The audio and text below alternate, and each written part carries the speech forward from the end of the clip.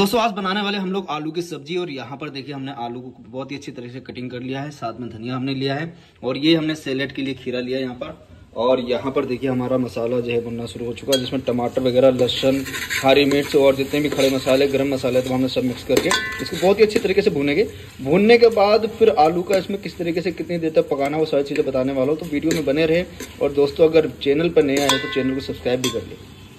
तो दोस्तों, मसालों को यहाँ पर बहुत ही अच्छी तरीके से भूनने के बाद हमने यहाँ पर जो है अपने आलू को ऐड कर दिया। उसके साथ थोड़ा सा पानी ऐड कर दिया हमने, जितना भी हमने तरी बनानी ग्रेवी बनानी उस हिसाब से आप पानी ऐड कर सकते हैं। और यहाँ पर अब इसको कम से कम पंद्रह मिनट के लिए पकाएँगे हम लोग। उसके बाद दोस्तों नज़ारा दिखाते हैं अब। तो दोस्तों, देखिए, यहाँ पर अभी पंद्रह मिनट मैंने इसको पकाया और देखिए, आलू की सब्ज़ी बन तैयार है हमारी। और साथ में रोटी, चपाती हम लोगों ने बनाई